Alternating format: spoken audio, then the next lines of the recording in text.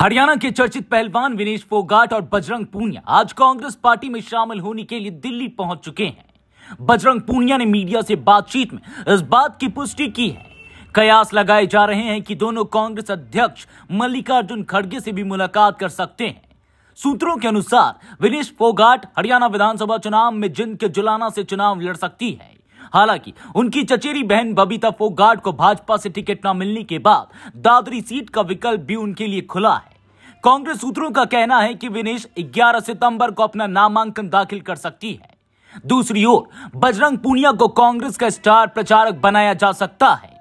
बजरंग झज्जर की बादली सीट से चुनाव लड़ना चाहते थे, लेकिन कांग्रेस ने वहाँ के मौजूदा विधायक कुलदीप वत्स का टिकट काटने से इनकार कर दिया। बजरंग को संगठन में कोई महत्वपूर्ण पद दिया जा सकता है और उन्हें हरियाणा में प्रचार की ज़िम्मेदारी सौंपी जा सकती है। इस बीच भारतीय कुश्ती महासंघ के पूर्व अध्यक्ष ब्रिजभूषण सिंह का एक बयान वायरल हो रहा है, जिसमें वे आरोप लगा रहे हैं कि उनके खिलाफ जो आरोप लगाए गए थे, वे कांग्रेस की साजिश थी। उन्होंने इस, इसे दीपेंद्र हुडा और भूपेंद्र हुडा की चाल बताया। वहीं भाजपा के पूर्व मंत्री अनिल विज ने कहा कि विनेश फोगाट अब देश की बेटी से कांग्रेस की बेटी बनना चाहती है। गौरतलब है कि 4 सितंबर को विनेश और बजरंग ने राहुल गांधी से मुलाकात की थी जिसके बाद उन्होंने कांग्रेस के राष्ट्रीय महासचिव के सी वेणुगोपाल से भी बातचीत की। हालाँकि इस मुलाकात की विस्तृत जानकारी अभी तक सामने नहीं आई है।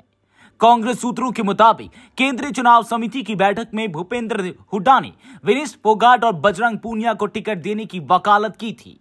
उन्होंने कहा था कि पहलवानों के साथ खड़ा होने से हरियाणा में कांग्रेस को समर्थन मिलेगा। विनेश फोगाट को तीन सीटों का ऑफ़र दिया गया है।